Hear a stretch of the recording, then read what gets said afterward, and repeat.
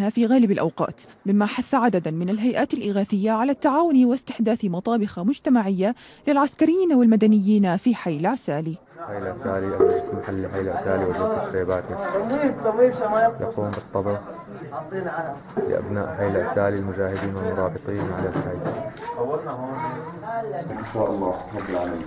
للمجاهدين المرابطين في حي العسالي وجوز الشريباتي ومع ارتفاع أسعار المواد التموينية تارة وانعدامها تارة أخرى يجد العاملين في هذه المطابخ صعوبة بالغة في توفير المواد اليومية اللازمة مما أجبرهم على استخدام مواد رخيصة لا تتمتع بقوام صحي يصلح للاستهلاك البشري. هاي السمنة الموجودة يعني سمنة مو صحية. يعني سمنة سيئة جدا بس هذا الموجود يعني حصار صار ثمان شهور بحصار خانق يعني وهاي السمنة الموجودة عندنا في المنطقة. هو في صعوبة بإجلاء المواد من يعني وأسعار كثير كثير غالية. يعني كيلو الرز 6000 ليرة. وفي شح بالمحروقات. عم نستعمل حطب. حتى الحطب يعني ما ضل بالمنطقة.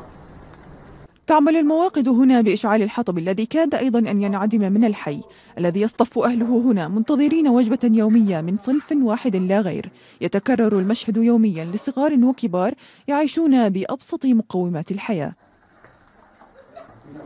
كيلو وجبه واحدة مقدارها 500 جرام.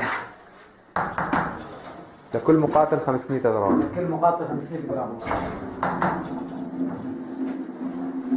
أن تصطف هنا منتظرا طبق طعامك اليومي لتفرغه في جوفك لا يسمن ولا يغني من جوع لحرية يعيش على أمل قدومها هؤلاء.